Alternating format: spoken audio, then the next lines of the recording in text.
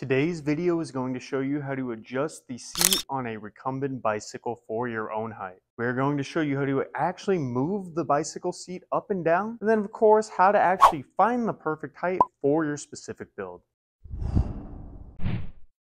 I'm going to link a recumbent bicycle down in the description that you can go purchase for yourself. To begin, let's start by looking at how you can actually move the bicycle seat up and down. Now, usually around the bicycle seat, there is some type of lever or knob that you can pull up, down, or out. This specific model, as you can see, has a lever that you pull up before you can actually move the seat forward and backward. I would highly recommend playing with whatever device that you have for yourself by looking around the seat and practicing on whatever mechanism there is. Once you found that out, we can actually set the seat for your specific height. Rule of thumb I always like to give people is to allow your knees to be slightly bent when the pedal is fully extended straight out in front. So whether you need to go forward or backward to find this position, once you do, you can lock yourself in and doing it in this exact way will allow you to have a lot of power through your legs when you actually start moving the pedals. Now this isn't a rigid guide and you can go up or down based off your specific preferences. Otherwise consider liking the video and subscribing to the channel as we help individuals of all abilities become healthier in life and increase their knowledge of the gym. And check out this other video I created showing you how to change the weights on weight machines at the gym.